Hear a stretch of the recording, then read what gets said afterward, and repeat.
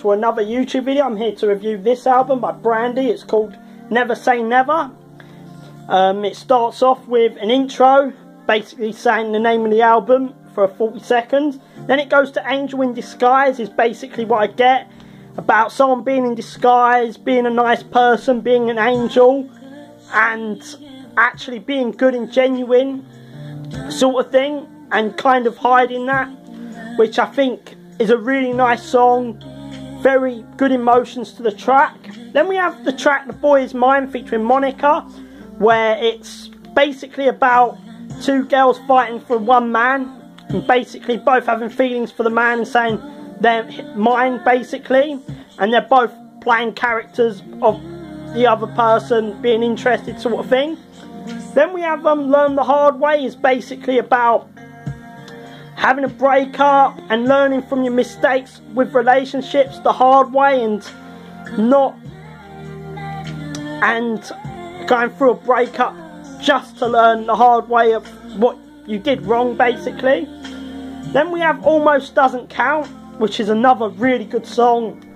I like the singing very powerful voice very soulful track as well which I really liked about the song. Then we have um Top of the World featuring Mase. Really good song. Had that um, bad boy feel with the um, bad boy records. You know how they sound, and um, he has his rhymes.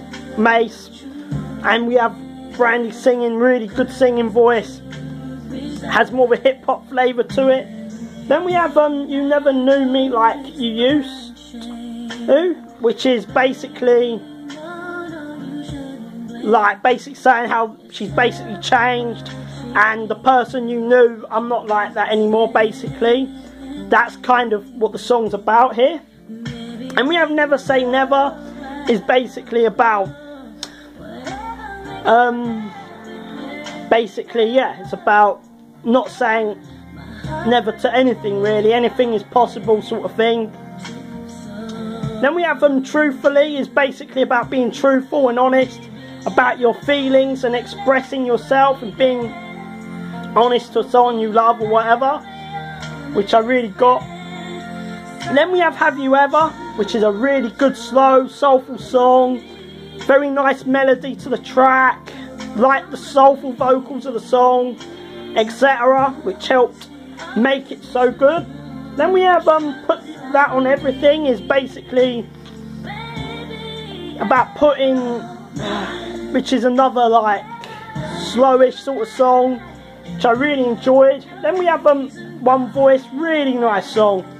That's one of my favourite songs on here. I like how everything with the instruments and the singing, how it all combines together, which helped make the song. Then we have Tomorrow again and everything I do it for you basically to end this album off. I really enjoyed this project and I'll give this album I'd give this album a 10 out of 10. I think this album, well, naturally, I think I'll give it a 9 out of 10 actually, because I think the way it started was quite a little bit with the intro and Angel in Disguise. I thought maybe it could have been a little bit better, how so so to speak. So yeah, I'll give it a 9 out of 10.